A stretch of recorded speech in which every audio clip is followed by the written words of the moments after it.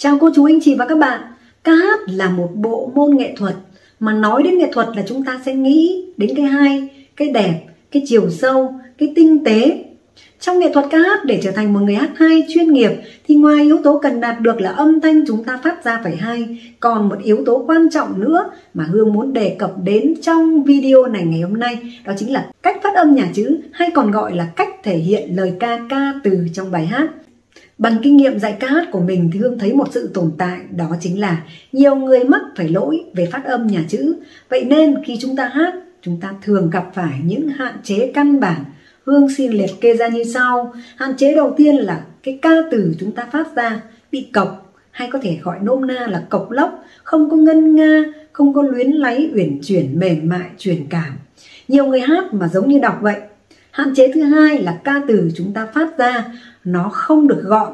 Ở nghe nó nè nhè, nó ề à. Từ cần đóng thì chúng ta lại mở ra, cái từ cần mở thì chúng ta lại đóng lại.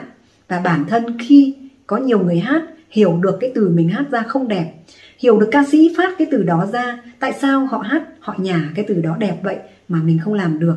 Không hiểu nguyên nhân và cách khắc phục như thế nào. Vậy thì hãy tiếp tục theo dõi hết video này nhé hạn chế thứ ba là ca từ khi chúng ta phát ra nó đều đều từ nào cũng giống từ nào nó không có nhấn nhá nó không có sắc thái và khi hát chúng ta sẽ làm người nghe bị nhàm chán và đơn điệu. Và ngày hôm nay trong video này bằng kinh nghiệm ca hát, giảng dạy và học tập của mình thì Hương sẽ chia sẻ với cô chú anh chị và các bạn hai quy tắc căn bản trong phát âm nhà chữ khi hát và nếu như hiểu và nắm được hai quy tắc này thì Hương tin một điều là chúng ta sẽ loại bỏ gần như hoàn toàn những lỗi về phát âm nhà chữ. Chúng ta sẽ hát hay hơn, truyền cảm hơn, chuyên nghiệp hơn. Vậy hai quy tắc đó là gì và chúng ta vận dụng như thế nào? Thì Hương xin chia sẻ ngay bây giờ. Mọi người tiếp tục theo dõi hết video này nhé. Quy tắc thứ nhất như sau. Khi hát những từ gì có chứa những phụ âm cuối cùng là n, ng, nhờ, m, cờ, tờ và pờ thì khi hát ta phải đóng từ đó sớm và ngân đuôi âm ngậm là ư. Có nghĩa là khẩu hình chúng ta phải đóng vào và sau đó là cái đuôi của từ đó chúng ta sẽ ngân thành âm ngậm. Âm ngậm là âm đóng có phát ra thành tiếng ư. Ví dụ như từ con có phụ âm n cuối cùng từ long có phụ âm ngờ cuối cùng. Từ mênh có phụ âm nhờ cuối cùng. Từ làm có phụ âm mờ. Từ phúc có phụ âm tờ. Từ mắt có phụ âm tờ. Hoặc là từ kiếp có phụ âm pờ. Vậy chúng ta hát như thế nào? Thì bây giờ Hương sẽ hướng dẫn trực quan cho mọi người thấy rõ nhé. Khi hát tất cả những từ này thì chúng ta cần phải đóng sớm và ngân đuôi âm ngậm là ừ. Ví dụ như sau.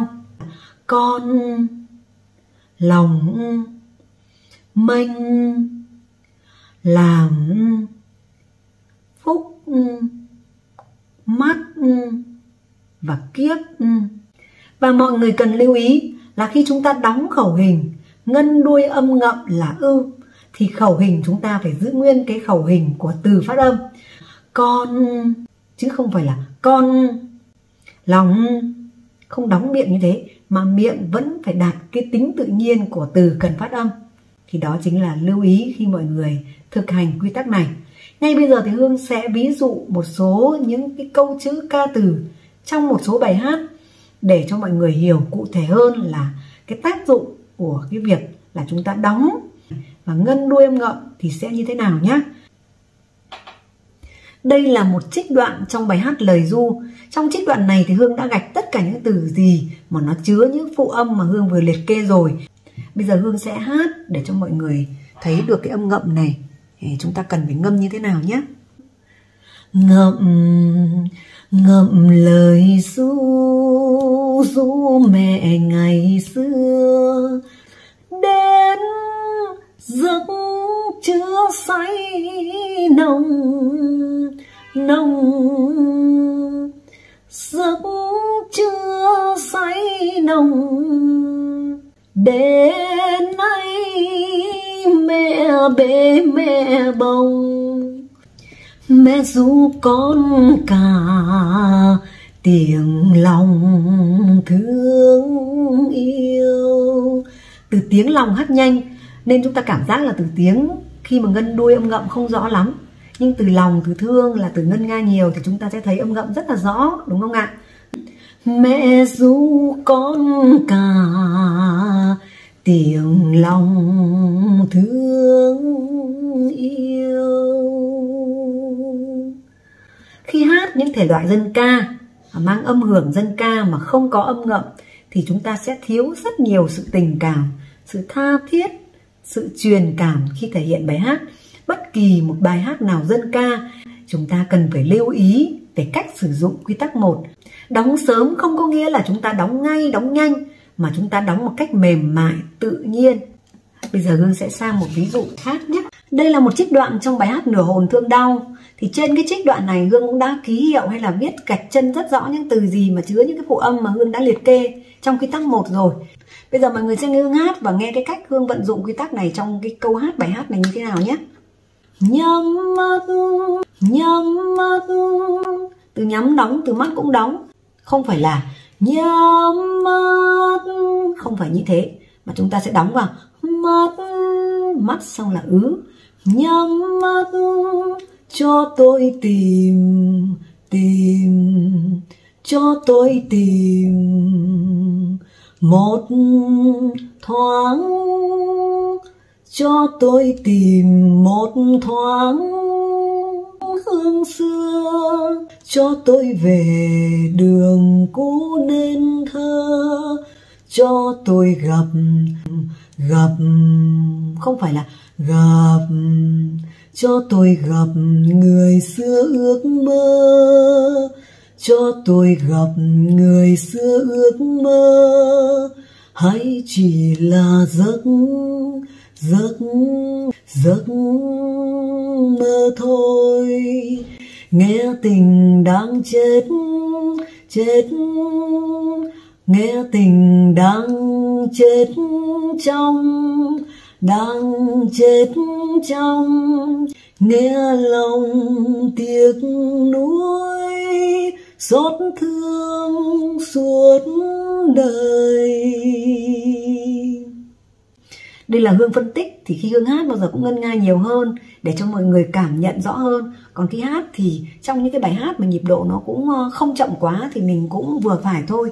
Đừng máy móc âm ngậm quá, làm cho ảnh hưởng đến nhịp độ bài hát, làm cho việc hát trở nên vất vả và mất tính tự nhiên. Đấy, bây giờ mọi người nghe hương hát lại với tốc độ nhanh hơn và cảm thụ rõ hơn nhắm mắt cho tôi tìm một thoáng hương xưa, cho tôi về đường cũ nên thơ, cho tôi gặp người xưa ước mơ hay chỉ là giấc mơ thôi. Nghe tình đang chết trong tôi. Nghe lòng tiếc nuối xót thương suốt đời. Bài Vũ Lam nhớ mẹ thì khi hát chúng ta ngân nga nhiều hơn Nên khi mà chúng ta hát thể hiện âm ngậm bao giờ cũng rõ hơn.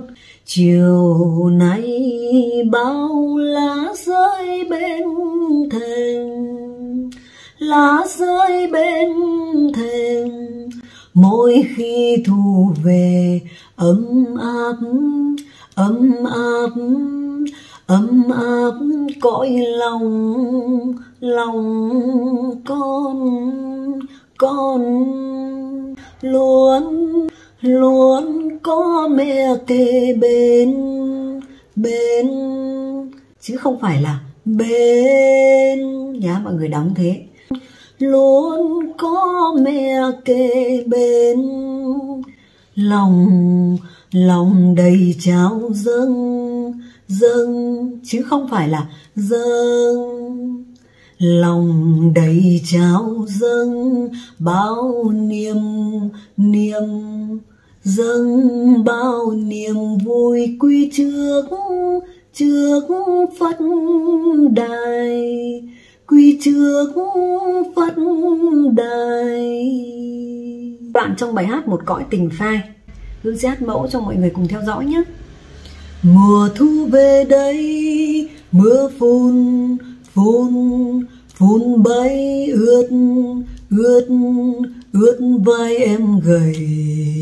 Mùa thu về đây, riêng riêng riêng mình riêng mình ta cùng cùng với trời mây. Riêng mình ta cùng với trời mây. Mùa thu Paris, có ai đi trong? Trong nắng vàng, trong nắng vàng. Vòng tay mênh mênh mang mênh mang. Bước chân bước chân bước chân đã nghe buồn hoang buồn hoang. Không phải là hoang, mà là hoang hoang. Và bây giờ thì Hương sẽ chia sẻ tiếp quy tắc 2 trong vấn đề phát âm. Quy tắc 2 như sau. Khi hát gặp những từ gì có chứa những nguyên âm cuối cùng là y y ngắn y dài, và u, thì ta phải đóng từ đó sớm, và ngân đuôi y y ngắn y dài và u. Hương ví dụ như từ tôi, có y ngắn, từ đây có y dài, từ đâu hoặc là từ thu thì có chữ u cuối cùng. Vậy khi hát, chúng ta sẽ đóng và ngân đuôi y như thế nào? Từ tôi có nguyên âm y cuối cùng, y ngắn cuối cùng thì chúng ta hát như sau. Tôi tôi, chứ không phải là tôi, mà là tôi tôi, đây đây, đâu đâu đâu, thu thu thu, chứ không phải là đây, đâu đâu mà là đâu. Đây, tôi. Vậy vận dụng trong khi chúng ta thực hành ca hát thì như thế nào? Đây là một trích đoạn trong bài ngỡ. Thì trong trích đoạn này, hương đã viết tất cả những từ mà nó chứa những cái nguyên âm y cuối cùng, y ngắn à, hoặc là chữ u. Em bỗng thấy nhớ anh nhiều em thấy lòng, em thấy lòng chợt lẻ loi cô đơn cùng với đêm dài, cứ trôi theo em từng ngày. Nhiều bạn nếu như mà không hiểu quy tắc này, không biết vận dụng thì chúng ta sẽ hát, mở từ rất là nhiều. Ví dụ, em bỗng thấy nhớ anh nhiều, em thấy lòng chợt lẻ loi cô đơn cùng với đêm dài, cứ trôi theo em từng ngày. Như vậy thì khi chúng ta hát, nghe cái từ chúng ta phát ra, nó không được gọn và nó không được đẹp. Vậy mọi người hãy lưu ý. Và đây là một trích đoạn trong ca khúc bản không tên cuối cùng của nhạc sĩ Vũ Thành An. Đó thì bây giờ Hương sẽ hát đoạn này cho mọi người hiểu thêm rõ hơn nhé. Nhớ em nhiều nhưng chẳng nói nói ra nhiều, cũng vậy thôi. Ôi đớn đau, đã nhiều rồi. Một lời thêm càng buồn thêm, còn hứa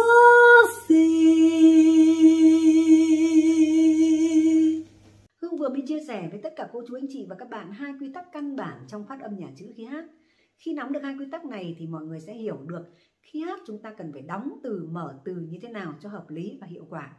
Và trước khi kết thúc video này thì Hương muốn đưa ra hai cái lưu ý quan trọng để mọi người khi vận dụng hai quy tắc này một cách có hiệu quả hơn nhé. À, lưu ý đầu tiên là khi hát những ca khúc nào có nhịp độ nhanh quá thì chúng ta đừng máy móc vận dụng hai quy tắc này. Chỉ có những cái ca khúc nào mà có nhịp độ vừa phải, bình ổn, nhẹ nhàng, ngân nga, luyến láy nhất là những ca khúc dân ca thì chúng ta cần phải vận dụng quy tắc ở một cách triệt để đặc biệt là quy tắc thứ nhất quy tắc âm ngậm và những cái từ có chứa những cái phụ âm mà Hương đã liệt kê ra rồi. Những ca khúc dân ca mà chúng ta không biết sử dụng những cái âm ngậm và ngân như thế thì chúng ta sẽ làm mất cái hay cái đẹp trong cái dân ca khi chúng ta hát. Mọi người cần lưu ý nhé còn những ca khúc nhạc nhẹ ở những cái ca khúc ở chữ tình, lãng mạn thì chúng ta cần phải lưu ý quy tắc 2 đó là chúng ta cần phải đóng từ sớm và ngân đuôi y với những từ nào mà nó chứa nguyên âm y y ngắn y dài hoặc là nguyên âm u. Lưu ý thứ hai nữa ở khi chúng ta vận dụng quy tắc là khi chúng ta đã phát cái từ đó ra rồi thì chúng ta dù âm ngậm hay là kéo đuôi y thì cái khẩu hình của chúng ta vẫn phải giữ nguyên cái hình miệng của từ chúng ta phát ra, không được đóng sớm, không được đóng một cách máy móc mà cái từ chúng ta phát ra vẫn cần phải độ tự nhiên, mềm mại. Ví dụ như từ con, kiếp, mắt, lòng, vân vân. Thì những cái miệng chúng ta vẫn phải đạt tính tự nhiên. Và cái từ chứa nguyên âm y cũng vậy. Đấy y, thấy y, mãi y, rồi y cõi y. Đó, từ chúng ta phát ra giữ nguyên cái hình miệng của cái từ đó. Và đây chính là lưu ý cuối cùng mà hương muốn chia sẻ với mọi người. Còn bây giờ thì hương xin kết thúc video này ở đây.